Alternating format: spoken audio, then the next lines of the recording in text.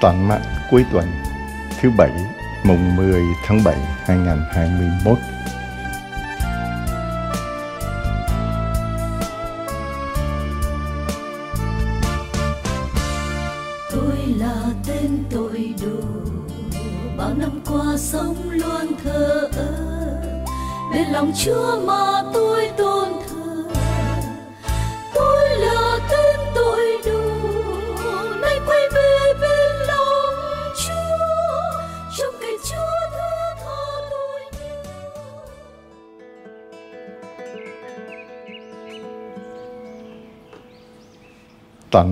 cuối tuần, thứ bảy, mùng 10 tháng 7 2021 Thưa anh chị em, tản mạn cuối tuần nếu gọi là tản mạn thì mình ờ, nói đủ thứ chuyện trên trời dưới đất.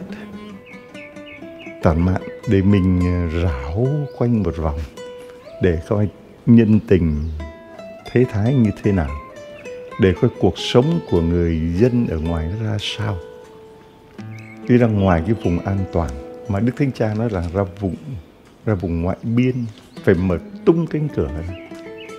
Thánh Gioan Gioan Phaolô II bảo rằng mở tung cánh cửa đón Chúa Giêsu. Mà Chúa Giêsu đó là ai? Chúa Giêsu không hiện diện uy nghi để chúng ta có thể nhận ra. Nhưng Chúa có thể hiện ra qua một ly cà phê. Biết đâu mình đang ngồi buồn buồn, mình uống ly cà phê mà mình lại nghĩ ra được giải pháp của vấn đề. Biết đâu được. Chúa nói với mình qua ly cà phê thì sao? Biết đâu rồi Chúa lại đến với mình qua một uh, tách trà. qua một tách trà. Bên Nhật nó có gọi là trà đạo. Cả một đạo về trà. Và mình có thể ngồi mình cầu nguyện, suy gẫm về cuộc đời để cảm nhận được lòng Chúa thương xót. Một ly trà, một ngụm trà. Và có thể biết đâu đó lại là một cái biến cố gì đó đang xảy đến mà cái biến cố đang xảy đến mà mọi người đều quan tâm nhất bây giờ các bạn biết là cái gì không? Đi đâu cũng hỏi, thay vì khỏe không thì hỏi là, đi chích ngừa chưa? động chích ngừa chưa? Hoặc là nếu mà đi thử rồi thì lúc điệu cũng hỏi là ờ, âm hay dương? Nghe mà dương tính là nó bỏ nó chạy. Vợ chồng hay là thân thiết mấy thì cũng thôi thay vì đừng xa em đêm nay, khi tan tan tan tan tan, thì đừng gần em hôm nay. Đừng gần em. Thưa anh chị em, mở tung cánh cửa ra mà đến để thấy được đừng ở trong cái vùng an toàn. Thú thật với anh chị em và các bạn, chúng tôi ở trong trung tâm mục vụ, đôi khi mình cảm thấy cái mặc cảm. Mặc cảm là mình quá an toàn ở trong một vùng an toàn.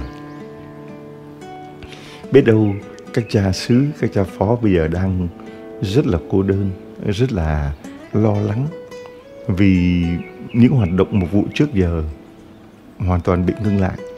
Mà chung quanh thì những người dân đói, khổ, nghèo, lo lắng về tinh thần, về vật chất cứ khủng hoảng. Mà những người mục tử thì chắc chắn không thể ngồi yên được bây giờ ông trùm làm sao, giáo sứ làm sao, giáo họ làm sao, các đoàn thể làm sao, các em thiếu nhi làm sao, rồi giáo lý hôn nhân làm sao, cuộc sống người dân bây giờ nó như thế nào, giáo dân của mình nó sống chết ra sao. Đâu cho phép mình ở yên được, ra ngoài cái vùng an toàn đó. Rồi, các bạn trẻ, nhắn với tôi rằng, thưa cha cha nói thì sao đi, chứ còn bây giờ chúng con ở ngoài hoang mang lắm rồi. Các gia đình bây giờ hoảng sợ hoang mang, hoảng sợ và hoảng loạn. Không biết là lúc nào mình dương tính đây. Và khi mình dương tính như vậy thì mình lây lan như thế nào rồi? Mình đi cách ly rồi trong cái môi trường cách ly đó liệu có an toàn hay không? Hay là còn nguy hiểm hơn nữa vì nhiễm bệnh đông quá, nhiễm bệnh.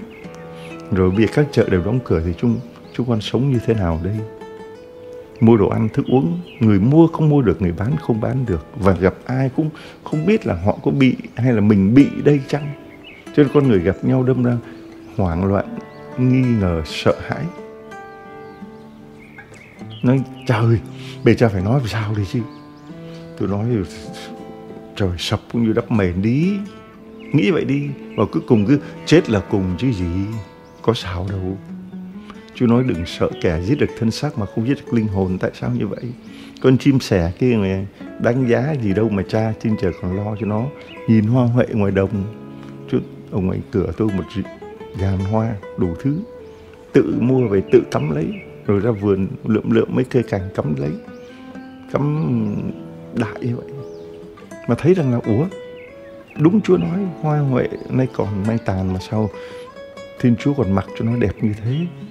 Vậy thì hỡi các con, liệu mà lo lắng như thế thì cái âm tính nó có trở thành dương tính không? Hoặc là dương tính nó có trở thành âm tính hay không? Ai có thể kéo dài đời mình ra một gang không nếu mà cứ lo?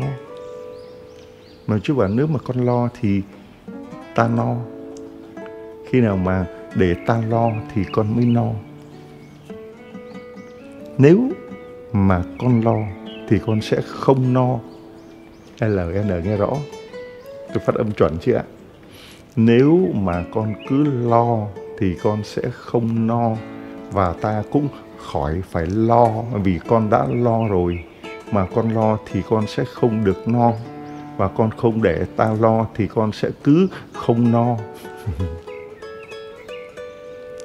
Ngược lại nếu con để ta lo thì con sẽ no và con không phải lo vì đã có ta lo. Tôi nói chậm rõ nha. Nếu con để ta lo thì con sẽ no mà không phải lo vì đã có ta lo. Ta lo để cho con được no mà không phải lo. Đó là tín thác đây Thưa anh chị em, đó là tín thác đấy. Vui không? Vui chứ. Hallelujah. Tạ ơn Chúa. Cứ vui lên. Vui lên anh em, hãy mừng vui trong Chúa. Hãy ta ơn Chúa trong mọi hoàn cảnh. Vì chính trong lúc này đây mới biết được gọi là vàng thử lửa, gian nan mới thử lòng tín thác. Ta nói ta tín thác vào Chúa. Mà bây giờ virus corona nó tấn công mình hoảng loạn. Chúa bảo lòng tín thác con đâu rồi? Chúa mắng các tông đồ hỡi kẻ hèn tin Sao mà các ngươi kém tin như vậy? Đừng sợ. Có thầy đây. Chúa đang nói với mỗi một người chúng ta đừng sợ có thầy đây. Và Chúa sẽ có trăm phương nghìn cách để mà cứu ta, để giúp ta. Tôi đưa ví dụ anh chị em. Anh chị em bảo sao cái này cho bán trái cây à? tôi không bán trái cây nhưng mà tôi tiêu thụ trái cây. Nhờ có tôi tiêu thụ mà người bán mới có thể gỡ được vốn. Lần trước là có vải không? Anh em bảo mày quá có vải mà con biết vải nó còn có một cái tên giống như tiếng Anh là lê chi lệ chi. Giờ mới biết vải có tên là lệ chi. Rồi trước nữa là có măng cụt phải không? Đây này có bưởi. Có trái bưởi. Bưởi thì có bưởi biên hòa bưởi biên hòa thì có bưởi nổi tiếng là bưởi gì? Tân triều. Rồi uh, dưới miền tây thì có bưởi gọi là bưởi uh, da da xanh. Bưởi da xanh. Này chắc bưởi da xanh thế nó xanh mà đúng, đây là bưởi miền tây. Là vì lý do một bữa kia thì ờ, bảo vệ gọi cha ra lãnh hàng, bảo có hàng gì đó. Không biết có anh ráp những cho cha hai cái bao gì đó. Mà cái bao nó cứ nó cứ tròn tròn tròn tròn đó. đoán là cái gì rồi bảo đoán là chắc trái cây. Khệ nệ khệ nệ vác ba lầu, mỗi bên năm trái là 10 trái. Hai bao, mỗi bao năm trái. Thì cho biết đó là một người bên Mỹ. Có người nhà quê ở miệt Việt Nam này rồi những người hàng xóm họ bán bưởi không được. Còn thứ 15 trái. Cái gì nói là bây giờ làm sao? Bây giờ nói bây giờ vậy tôi mua cho 10 trái. Bảo 10, 10 trái thì đem đi đâu? Đủ gửi sang Mỹ được bảo tôi không cần gửi sang Mỹ. 10 trái đó cho địa chỉ showbiz Tôn Đức Thắng trung tâm mục vụ gửi anh Cha Long. Rồi cho Sarap chở lên đó rồi tôi trả tiền. Thế là họ trả tiền bưởi, trả tiền xe, đủ hết mọi thứ. Tôi chỉ việc là đón nhận và cắt ra rồi ăn. Bưởi da xanh trứng cống, mọng nước ngọt. Cho nó nói cha đừng có sợ hư bởi để càng lâu càng héo càng ngọt và đừng để tủ lạnh, cam, chanh, bưởi, quýt, những thứ đó đừng để tủ lạnh, càng để tủ lạnh thì nó càng chua. Để ngoài cứ vậy càng héo ăn càng ngọt, quýt, cam, bưởi. Ngọt, ăn thêm miếng nữa mời anh chị em. Rất hương.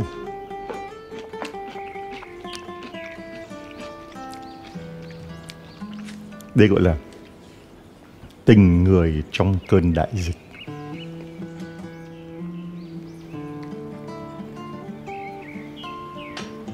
lòng thương xót Chúa đây. Đây là lúc mình thể hiện lòng thương xót Chúa. Đây là lúc mình thực hành lòng thương xót Chúa. Đây là lúc mình coi coi mình có tín thác vào quyền năng và lòng thương xót Chúa hay không. Chắc chắn cái người vắn bưởi chả bao giờ nghĩ rằng là bưởi của họ ở mãi dưới miền Tây mà trở lên tới được trung tâm mùa vụ. Chắc họ chẳng bao giờ nghĩ rằng là họ có thể bán được hết bằng đôi trái bưởi để họ có thể sống được cả tháng trời trong cơn đại dịch này. Vân vân. Thì thưa anh chị em, có hai chuyện mà khi tôi đọc những lá thư để chia sẻ với anh chị em. Thứ nhất là có nhiều người nói, cha đừng có nêu tên con nhé, con cúng cái này, con cúng nọ kia. Còn nhắc khéo mà cha đừng có nêu tên con.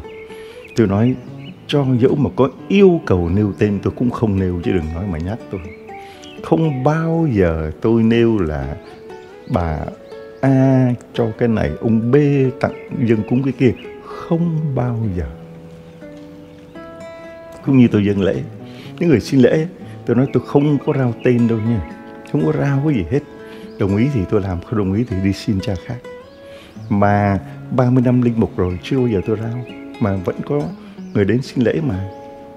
Còn nếu họ thích rao, gia đình muốn rau bảo con không rao thì người ta bảo con không xin lễ thì thôi.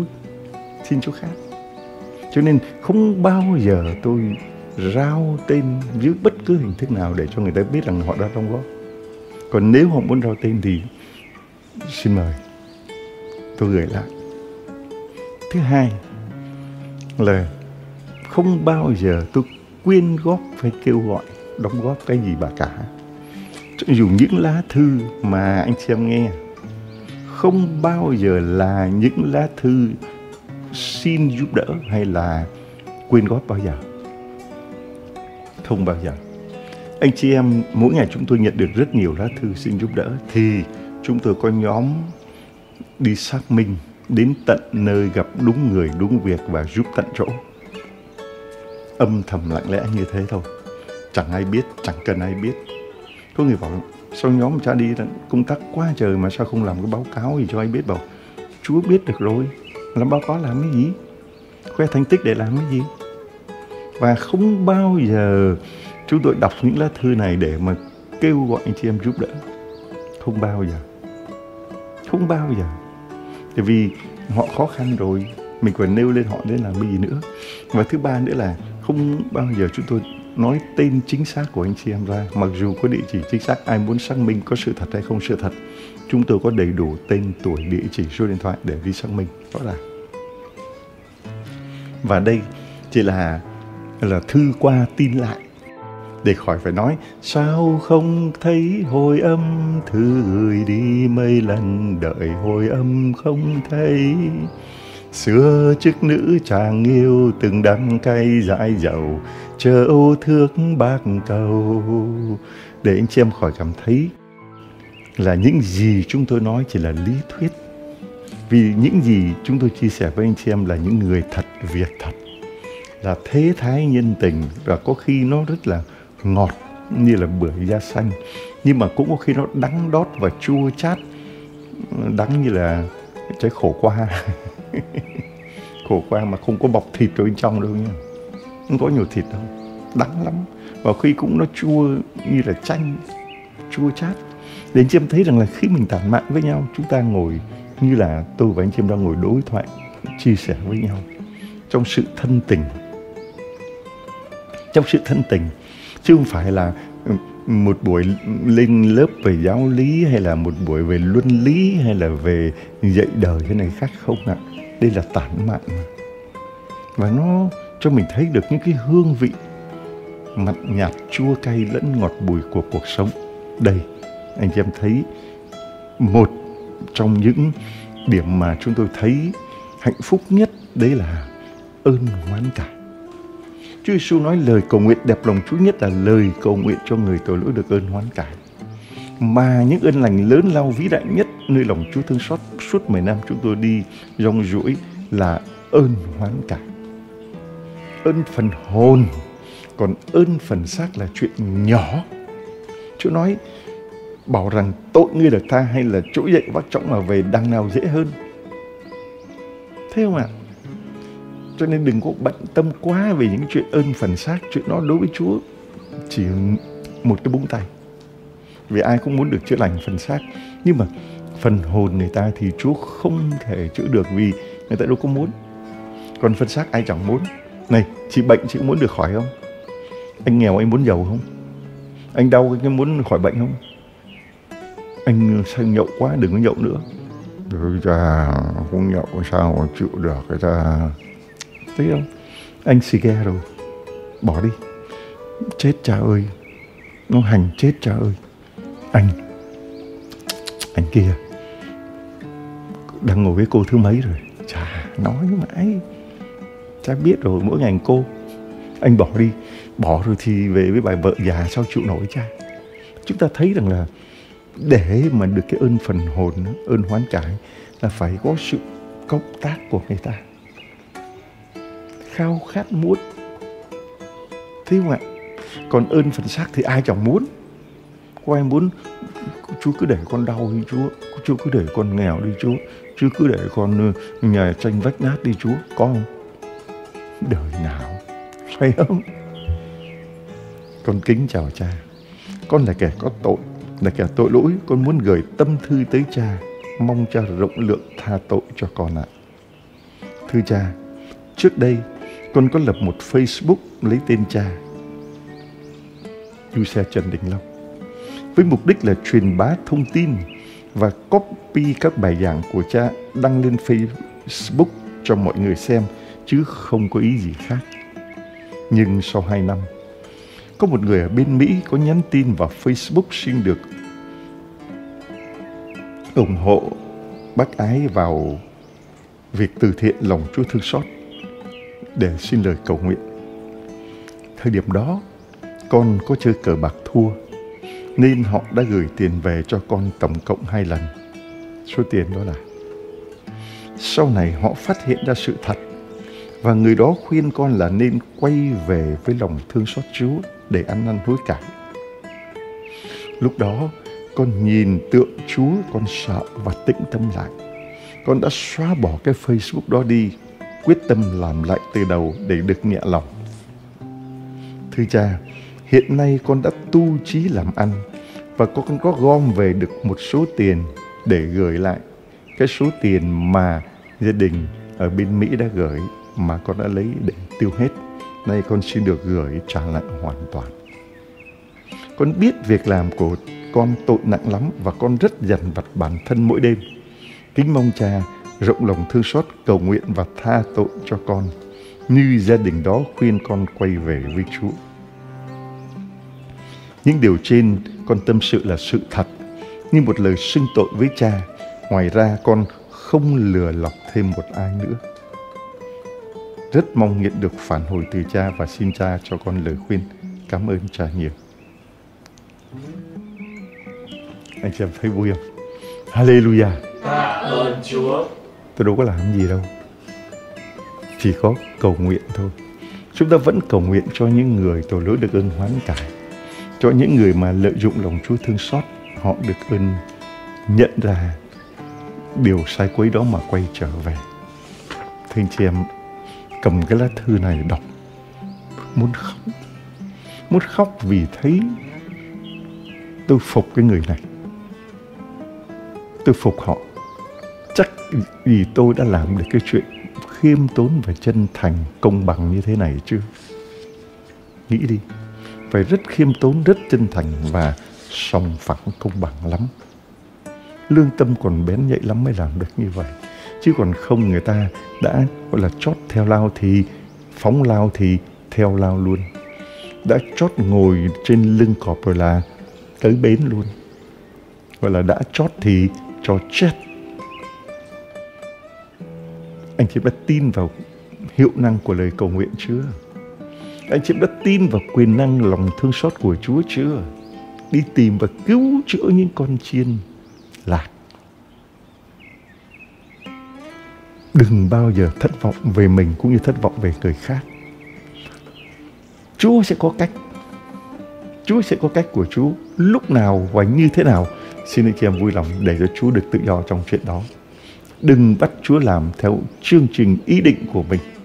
Chơi con cầu nguyện cho nhà con 10 năm rồi 15 năm rồi 20 năm rồi.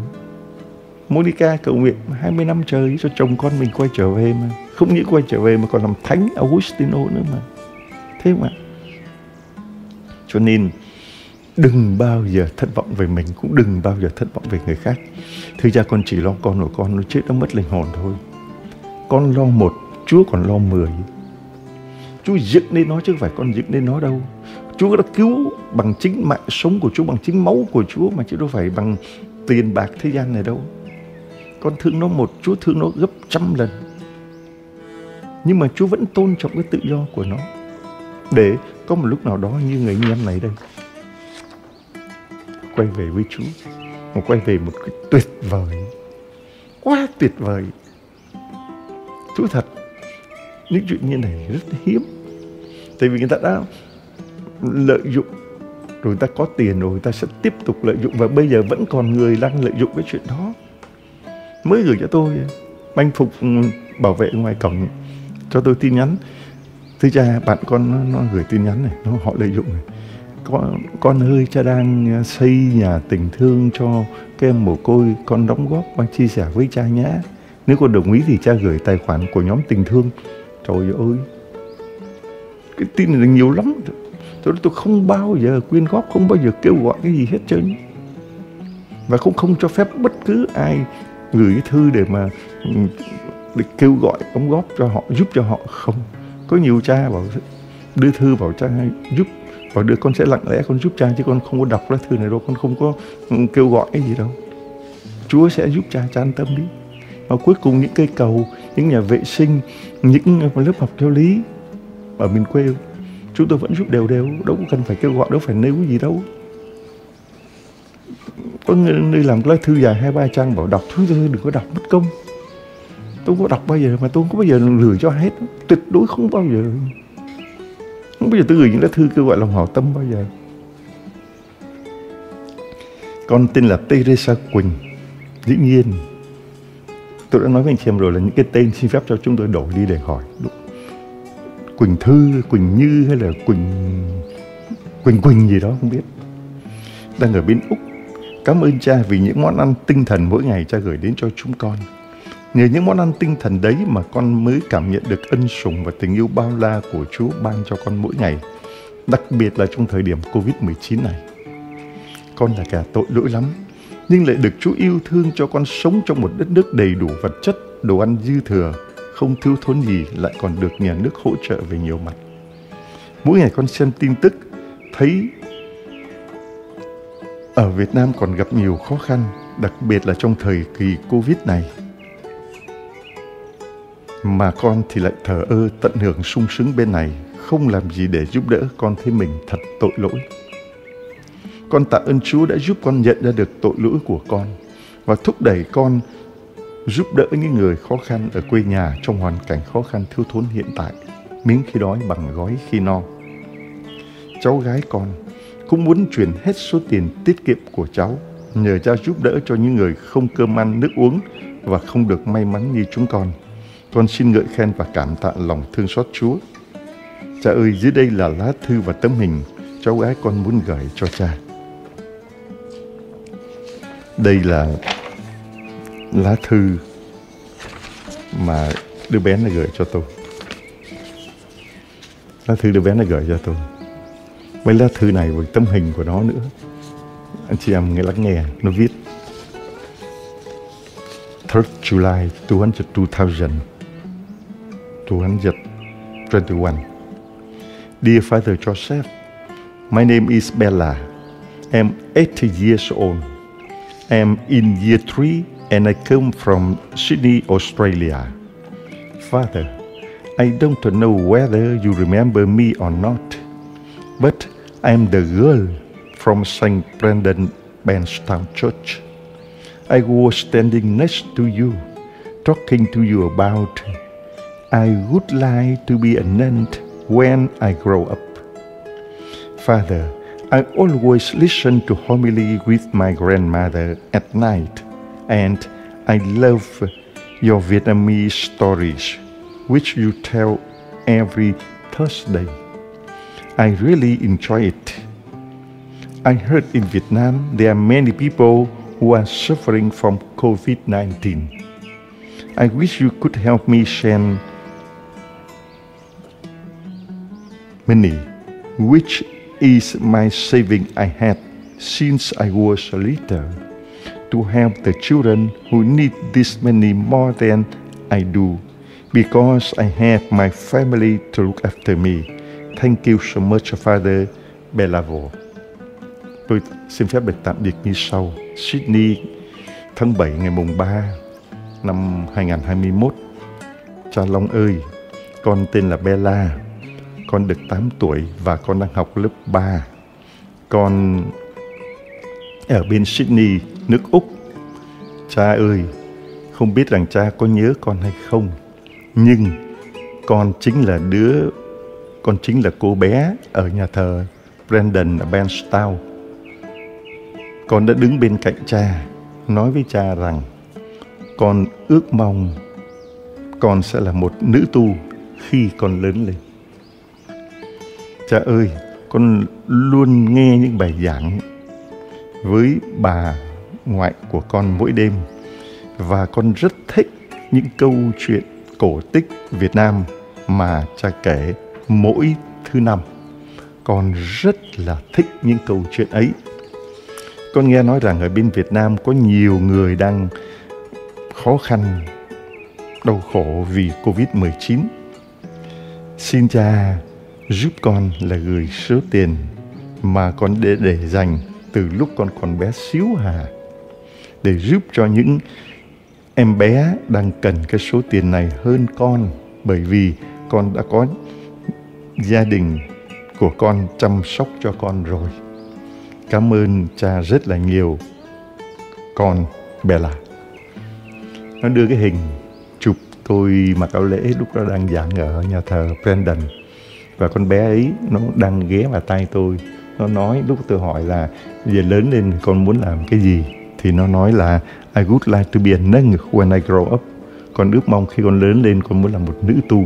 Cả nhà thờ vỗ tay. Con bé đó nó mới có 8 tuổi lúc mà tôi đến đây cái đây thì nó mới có à, uh, 6 tuổi rưỡi mà học lớp uh, chắc lớp lớp một rưỡi cái đây hơn năm rồi Đấy thưa anh chị em, những cái lá thư này, những câu chuyện này mà không nêu lên để cho chúng ta thấy thấy nó đẹp không biết chừng nào, tản mạn, thấy được tâm lòng của con người, nó dễ thương biết là chừng nào thưa anh chị em.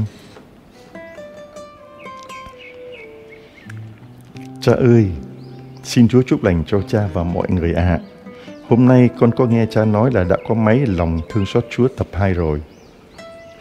Đây là máy lòng thương xót Chúa tập 2 thưa anh chị em. Mới phát hành đầu tháng 7 năm 2021. Con xin cha cho con năm máy gửi cho gia đình bố mẹ và anh chị chồng của con. Họ đều là người ngoại đạo. Từ khi biết đến lòng thương xót Chúa thì mọi người rất thích nghe các bài giảng lòng thương xót Chúa. Bố mẹ chồng con đêm nào cũng nghe, lỡ mà máy hết pin không nghe được cha giảng là hôm đó không ngủ được luôn đó, cha ơi tôi ít nhất là cũng vui anh chị em những cái đêm được à giấc. Tuyệt vời những người ngoại đạo xin máy. Còn tôi nhắn cho những người không giáo bảo nhóm có cần máy gì không? Chẳng thấy ai trả lời. Thấy buồn buồn. Rồi một lá thư nữa. Con tên là Hồng. Hồng Minh, Hồng Ngọc, Hồng gì đó. 22 tuổi ở giáo phận Ban Mê Thuật có hai việc. Thứ nhất là giáo sứ con rộng mà nghèo lắm. Nghèo đây là những người dân tộc Thái và ED rất nhiều. Họ chưa được biết đến lòng thương xót Chúa. Chúng con rất muốn giúp họ nhưng thiếu phương tiện truyền giáo. Nay nghe nói là đầu tháng 7 này có đài lòng Chúa thương xót.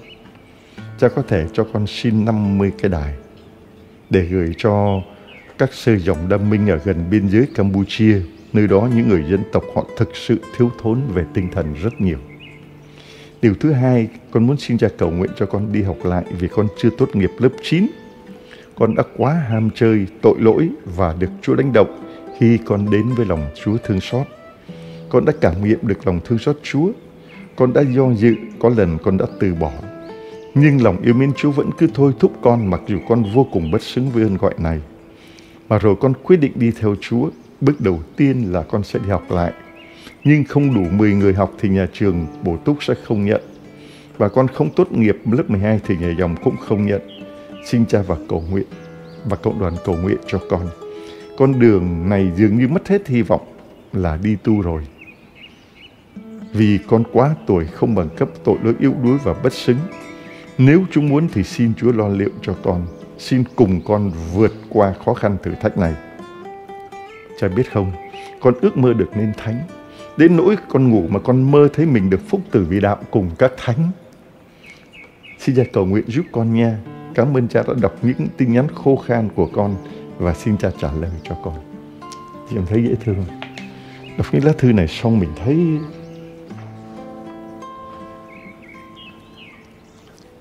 thấy nó vui ơi là vui, thưa anh chị em thấy giữa những cái lúc khó khăn thử thách này anh chị em nhận được những lá thư như thế này y những cơn mưa giữa trời nắng hạn y như là những làn gió mát giữa trưa hè.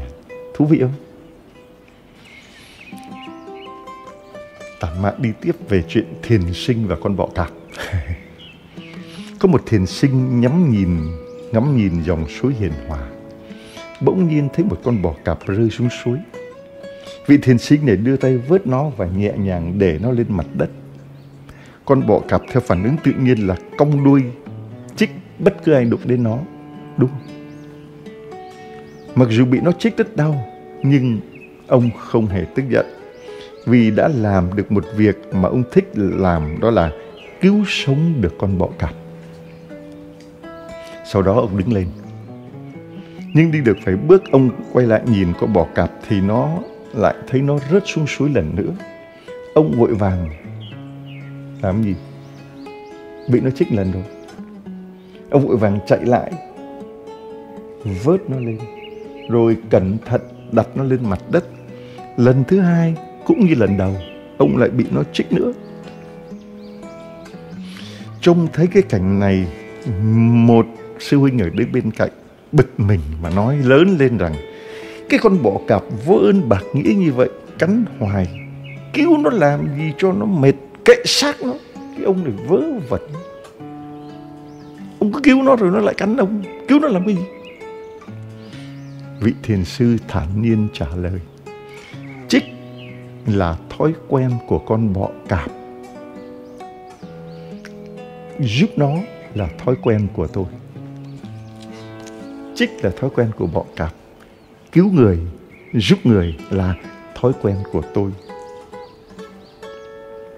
Thưa anh chị em và các bạn, đó chính là thói quen của lòng thương xót.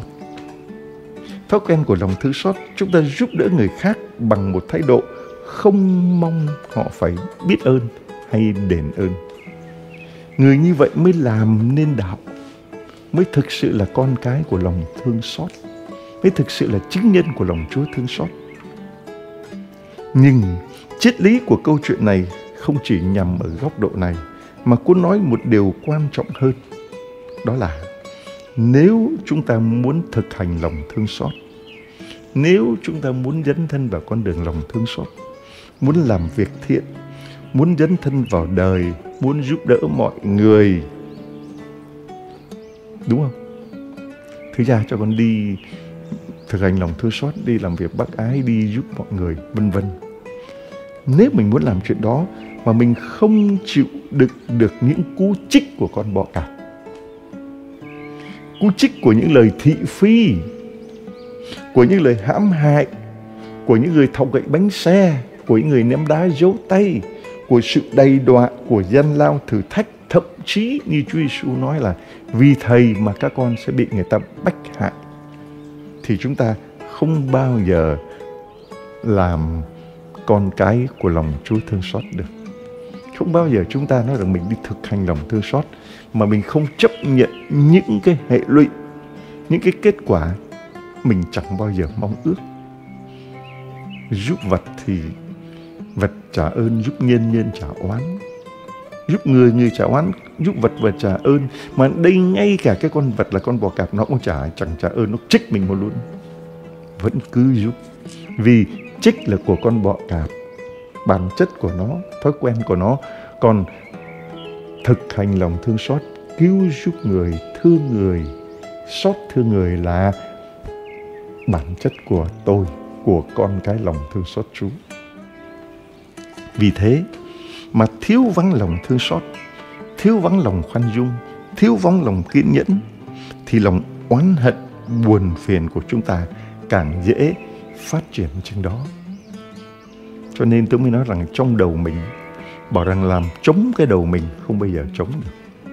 Mình không suy nghĩ cái này thì suy nghĩ cái khác, đúng không?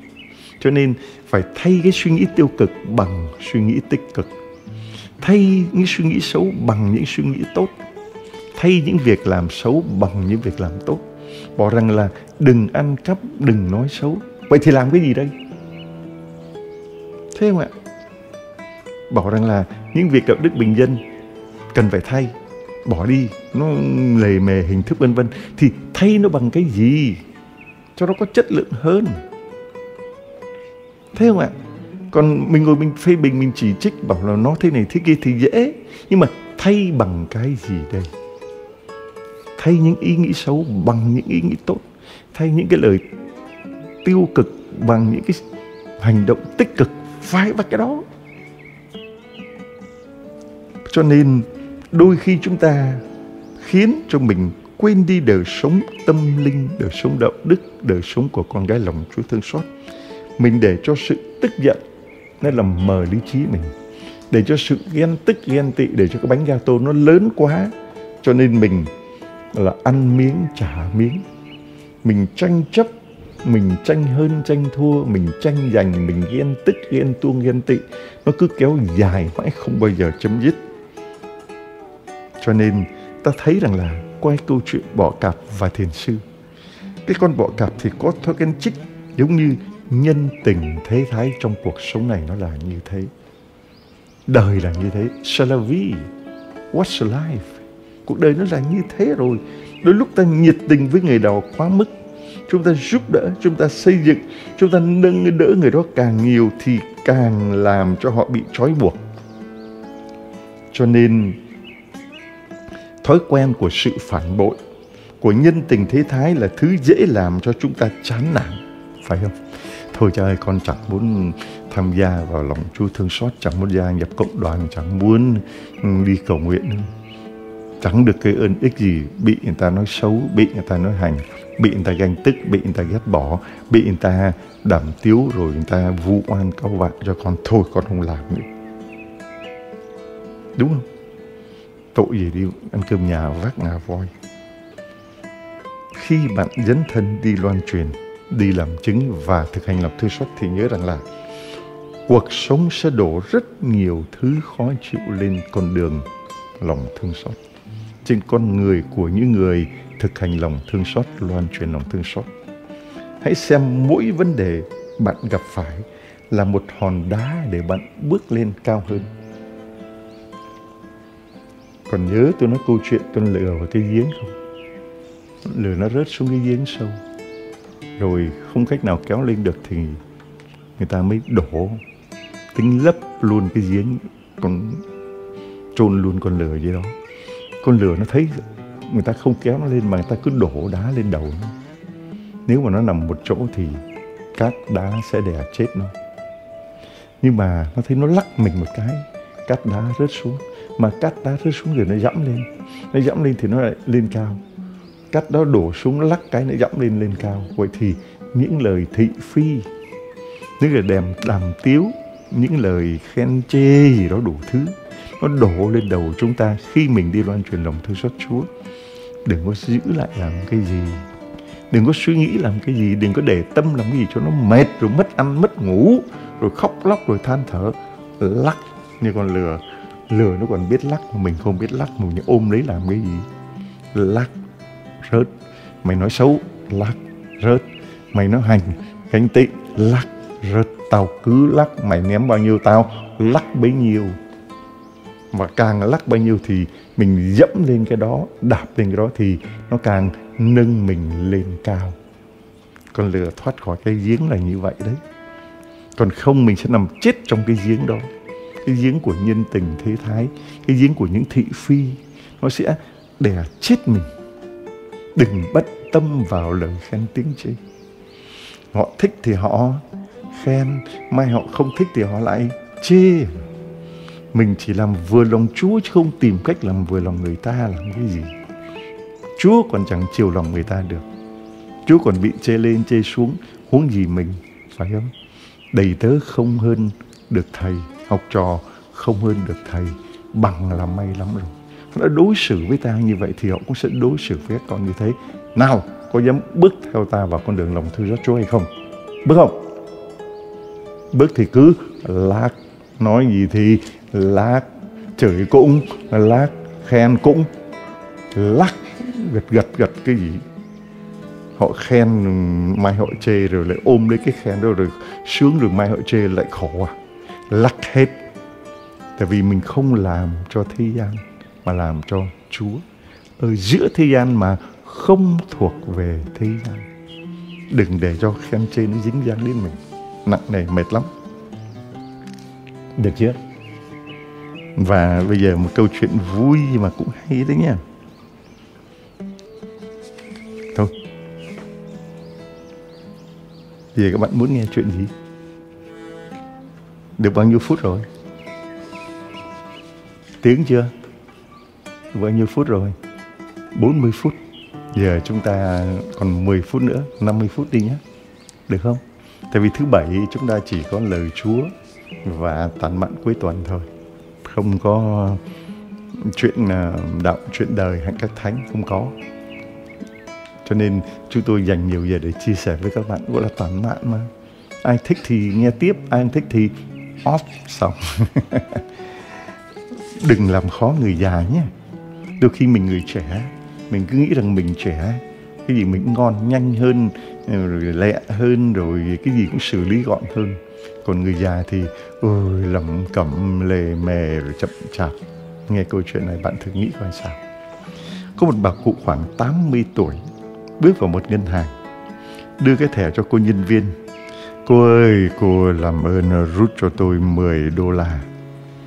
Cô nhân viên trả lời, nếu muốn rút dưới 100 đô la thì xin bà vui lòng sử dụng máy ATM. Bà cụ thắc mắc, tại sao mà tôi không thể rút chỉ có 10 đô la nhỉ? Cô nhân viên tỏ vẻ khó chịu. Cô đưa cái thẻ lại cho bà cụ và nói với bà rằng là đây là quy luật của ngân hàng. Mời bà bước ra ngoài nếu không còn vấn đề gì khác vì phía sau bà còn nhiều người xếp hàng chờ đến lượt. Bà cụ im lặng vài giây, đoạn đưa thẻ lại cho cô nhân viên và nói rằng là Thế thì cô hãy giúp tôi rút hết toàn bộ số tiền mà tôi có trong tài khoản này. Cô nhân viên chố mắt ra ngạc nhiên khi kiểm tra cái số dư ở trong tài khoản của bà cụ. Cô lắc đầu, nghiêng người về phía bà chậm rãi nói từng tiếng. Thưa bà, trong tài khoản của bà có tất cả là một triệu đô la. Và ngân hàng chúng tôi hiện không có đủ số tiền mặt đó. Bà có thể vui lòng đặt hẹn vào ngày mai trở lại không? Cô hoảng luôn. Bà rút có 10 đô la.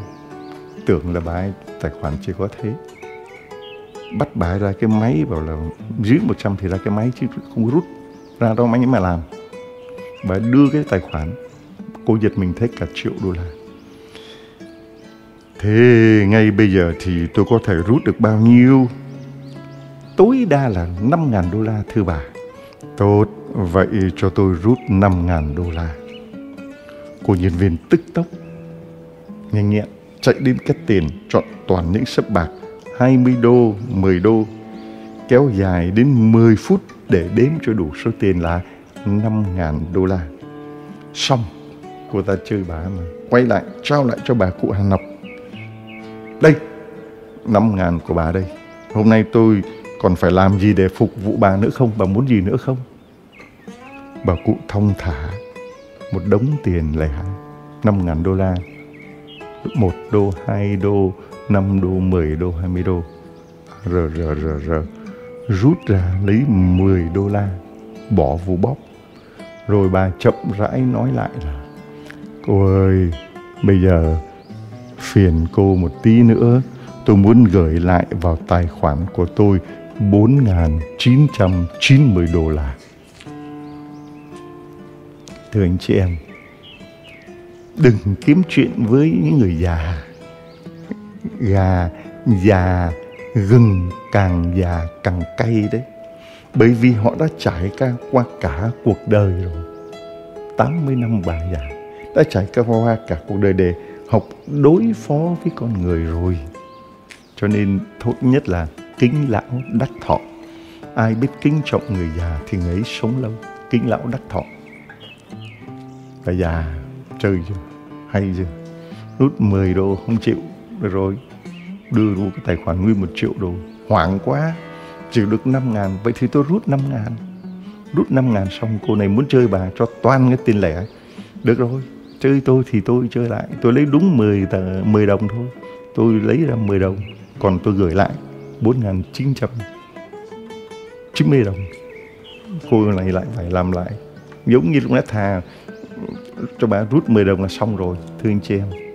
Người già đấy, đừng có làm khó người già, làm khó người khác là khó chính bản thân mình.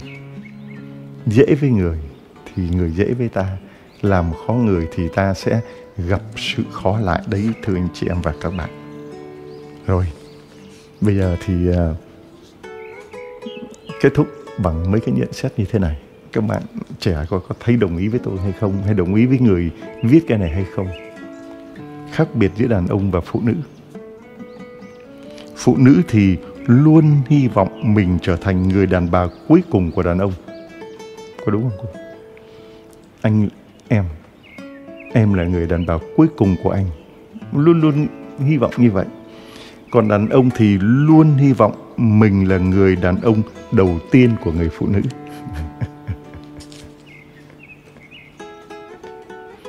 Cái thứ hai, muốn nhìn kỹ khuôn mặt của người phụ nữ thì phải đợi sau khi họ đã tẩy trang lúc mà họ đã điểm trang rồi thì không còn phải là mặt thật nữa. Muốn nhìn mặt thật thì chờ sau khi họ đã tẩy trang, chứ không phải sau khi họ đã điểm trang. Muốn nhìn kỹ khuôn mặt của người đàn ông thì phải đợi đến khi mà hai bên chia tay nhau. Giờ thì tôi mới thấy cái mặt thật của anh đổ đẻo. Đúng không? Cái nhận xét thứ ba. Người đàn ông thành công kiếm được số tiền nhiều hơn số phụ nữ đã xài. Người đàn ông thành công là người kiếm được số tiền nhiều hơn cái tiền mà người phụ nữ xài. Anh là người thành công.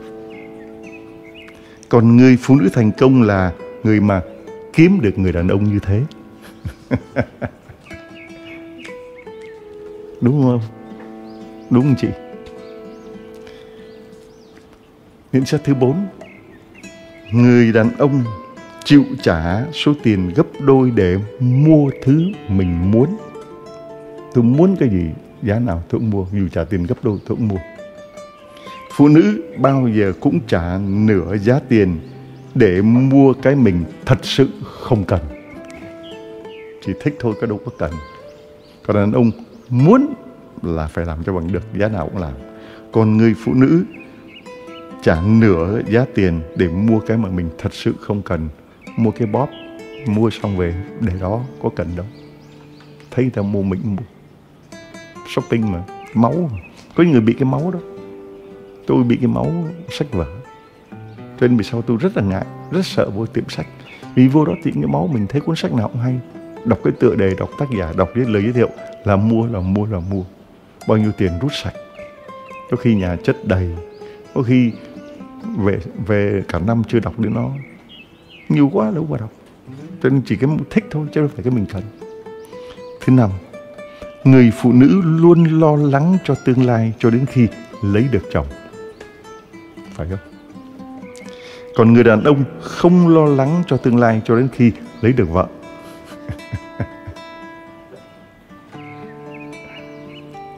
Thứ sáu đàn ông đi dạo cửa hàng mà muốn mua cái mà họ cần. Còn phụ nữ vào cửa hàng là muốn xem vật gì cần mua hay không. Đàn ông tính trước rồi, vào là biết mình phải mua cái gì mình cần thì mới vào. Còn phụ nữ thì vào xong mới coi mình cần mua gì không. Không cần mà làm gì phụ nữ, mà không có thích vào. Máu nó khác nhau như vậy. Chúa dựng nên Adam Eva. Nhận xét thứ bảy. Có những người đàn ông cho rằng hôn nhân là mồ chôn của tình yêu. Có những người phụ nữ lại cho rằng không kết hôn, tình yêu sẽ chết, không trốn dung thân. Thôi, chúng ta kết thúc ở đây, được không ạ? Phần sau chúng ta nói tiếp về đàn ông và phụ nữ. Xin chúc các bạn một buổi à, chiều thứ bảy thật là vui bên những người thân yêu của mình. Rất là hạn chế vì Covid. Nhưng có một người đang chờ bạn ở nhà chầu. Chúa Giêsu tâm hồn bạn là nhà chầu của Chúa. Chúa chờ bạn đến để tản mạng nói chuyện với Chúa. Cái đèn nó, anh chị em các bạn có để ý không? Nó hết rồi đó. Có khi lòng khao khát của mình với Chúa, nó cũng tàn đi. Hãy thắp lại cái ngọn đèn. Thắp lại ngọn đèn, dầu lòng thương xót cái dầu lòng thương xót coi nó còn hay không chúa thánh thể. Mình không đến nhà thờ được, viếng chúa được thì chúa thánh thể đang ở trong tâm hồn bạn. Và chúa nói với Faustina là tâm hồn con là nhà tạo cho ta nữ amen. Tôi là tên tội đồ. Khi vinh quang sống ham giàu sang, không dòng ngó người lúc cơ hàn. Tôi là tên tội đồ bao thăng trầm trong cuộc sống.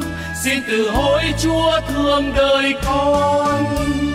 Chúa giàu lòng xót thương dang rộng tay đón ai đi lầm đường chúa giàu lòng xót thương dẫn đưa ta về con đường yêu thương. Chúa giàu lòng xót thương, luôn dù thương những ai đi lạc đường chúa giàu lòng xót thương đã đưa ta về suối nguồn. Yêu thương.